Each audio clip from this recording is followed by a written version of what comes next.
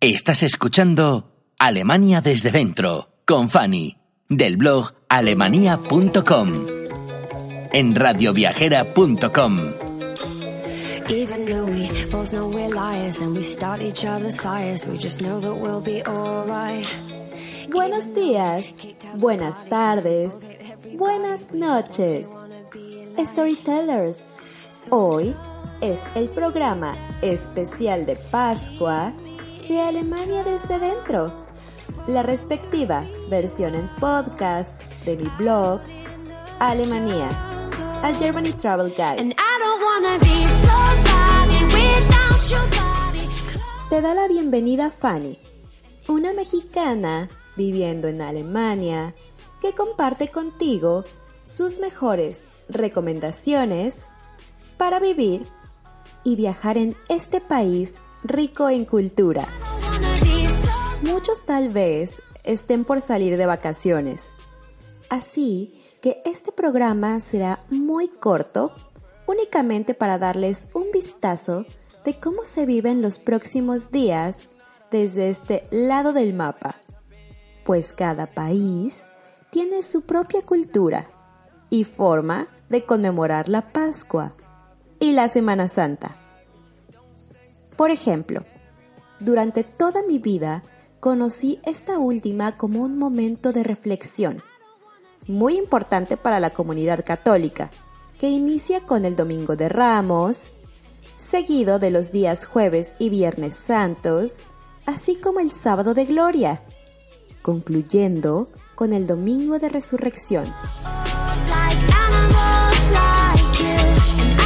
Sin embargo, un año más me toca vivir la Pascua alemana, la cual es una celebración asociada a la primavera y la alegría de esta estación. Por supuesto, las costumbres no son iguales a las que realizamos, ejemplo en México, ya que proceden de otra rama del cristianismo, el protestantismo. Además, se entremezclan con tradiciones del antiguo paganismo germano. Sin contar que la celebración de la Semana Santa y la Pascua en Alemania también se junta con la llegada de la primavera. Así que se vuelve una especie de transición en un ambiente familiar lleno de alegría para los hogares alemanes. Interesante, ¿no crees? Pues quédate, que Alemania desde adentro ya comienza.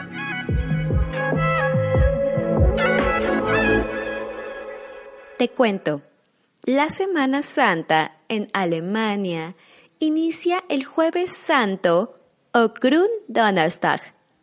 De ahí continúan los días festivos. Viernes Santo o Karfreitag, Sábado Santo o Karsamstag, Domingo de Pascua o Ostersonntag y finalizan el lunes de Pascua, Ostermontag. En mi experiencia, he notado que la gran mayoría celebra principalmente el día de Pascua. En alemán, Ostern, una de las celebraciones más importantes del año para este país, donde algunos alemanes acuden a la iglesia a encender las velas de Pascua, Osterkerze. Pero ¿cómo se viven estas fechas? Bueno, antes o desde aproximadamente un mes y durante esta festividad, casas, jardines y parques se llenan de decoración. Encontrarás por doquier huevos decorados colgados en los árboles, conejos de Pascua, confeti, cestas alusivas a la celebración.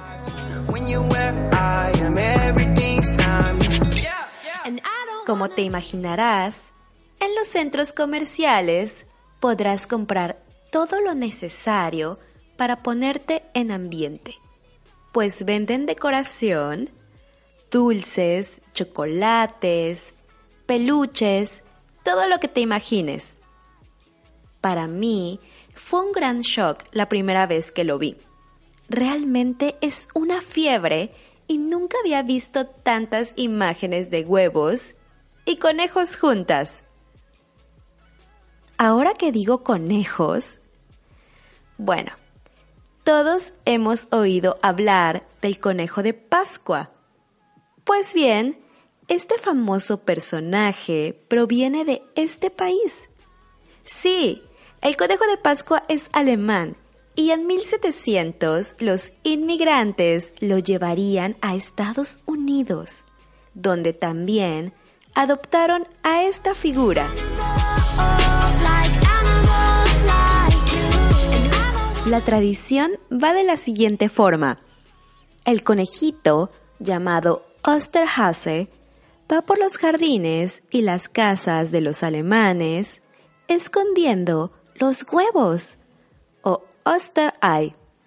Para que el domingo de Pascua, Ostersonntag, los pequeños salgan a buscar los huevos y regalos que les ha dejado el conejo. Si bien el Osterhase es el protagonista de la celebración, como te mencionaba, los huevos también son muy importantes, pues simbolizan vida y fertilidad. Los hay de muchos tipos. Chocolate, mazapán, incluso están vacíos, pues se utilizan para decorar el árbol de Pascua, Osterbaum, y los tradicionales huevos duros pintados. Esta actividad de pintura es toda una tradición y la familia entera participa en la producción. En mi caso, nosotros elaboramos los últimos. En México, no sé si encuentras algunos ingredientes, pero si quieres intentarlo ahora que los niños están de vacaciones, como una actividad manual, en Internet encontrarás muchísimas formas de hacerlos de lo más original y siempre puedes experimentar con texturas. He dicho México, pero también aplica para cualquier país desde el que me estés escuchando.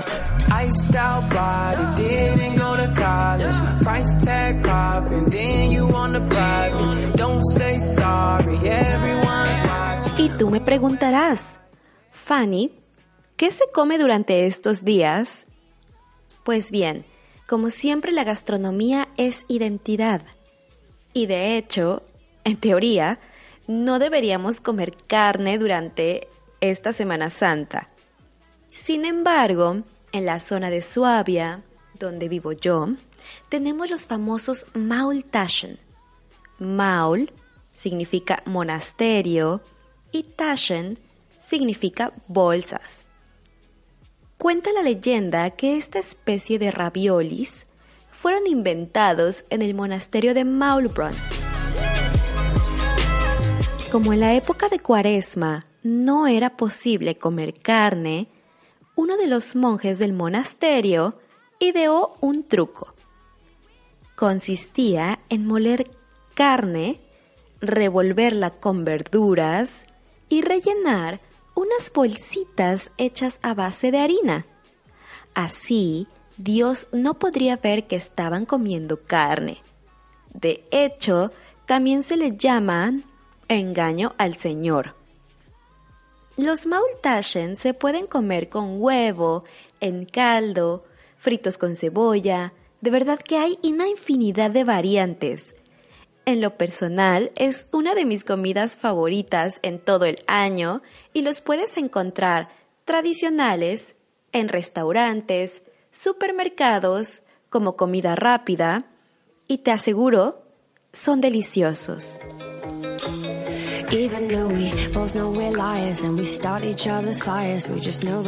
Por otro lado, esto no debería sorprenderte, ya que este país es conocido por su repostería.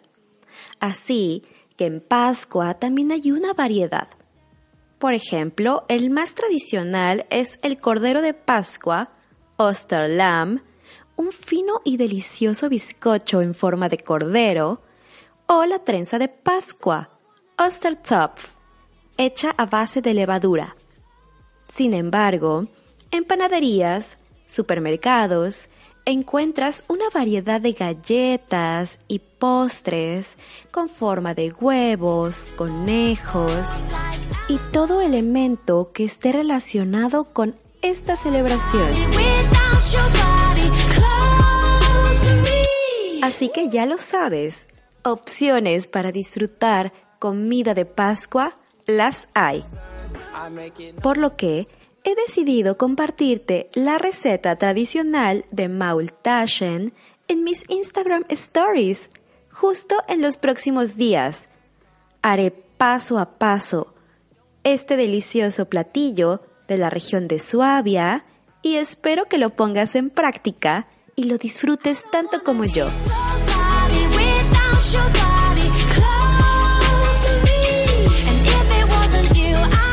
¿Conoces más tradiciones de Pascua en Alemania? Entonces, por favor, compártenos. Recuerda que juntos somos storytellers.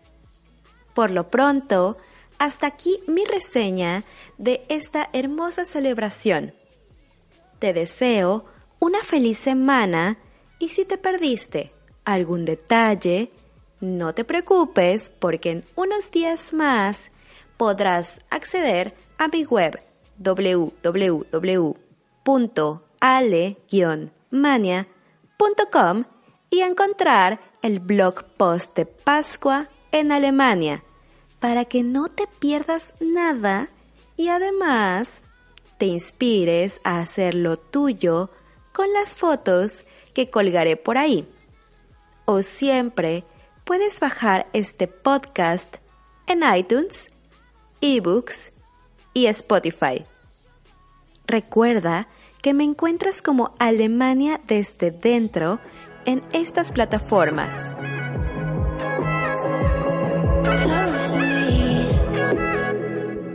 Antes de despedirnos, les cuento que la siguiente semana les traigo un súper invitado, paisano mío y experto en temas de senderismo, por lo que les traerá una perspectiva muy diferente de ver Alemania. No se lo pierdan. Por lo pronto, esto ha sido una emisión más de Alemania desde adentro, la versión en podcast de mi blog Alemania, a Germany Travel Guide. Yo soy Fanny y me encantaría escucharte, así que por favor, sígueme dejando todos tus comentarios, peticiones y sugerencias en mis redes sociales. Instagram, arroba FannyPa, Twitter, arroba blog-alemania y por supuesto los invito a que se queden escuchando radiovejera.com. Los espero la próxima semana con mucha más información para vivir y viajar en Alemania.